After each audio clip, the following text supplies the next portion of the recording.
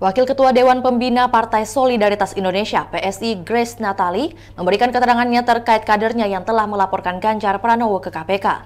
Ia menyebut Ketua IPW sekaligus Ketua PSI Bogor, Sugeng Teguh Santoso merupakan pejuang anti korupsi. Dikutip Tribun News dari Kompas.com, hal itu disampaikan oleh Grace di Menara Kompas Palmera, Jakarta pada Kamis 7 Maret 2024. Ia membenarkan bahwa Sugeng merupakan ketua dan kader dari PSI. Meski begitu, Grace memastikan bahwa langkah yang diambil Sugeng untuk melaporkan Ganjar bukan arahan dari PSI. Ia menyebut bahwa pelaporan yang dilakukan Sugeng merupakan kapasitasnya sebagai ketua IPW, bukan sebagai pengurus PSI. Grace juga menyebut sebelumnya, Sugeng bergabung dengan PSI, ketua IPW itu adalah pejuang anti korupsi.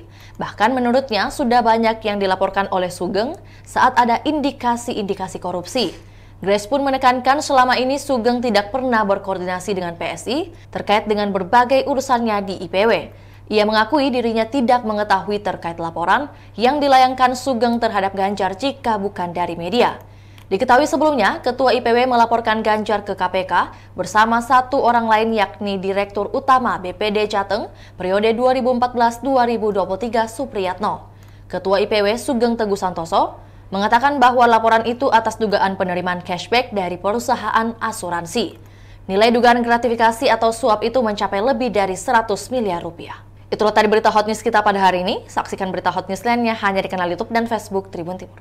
Download Tribun X sekarang. Menghadirkan lokal menjadi Indonesia.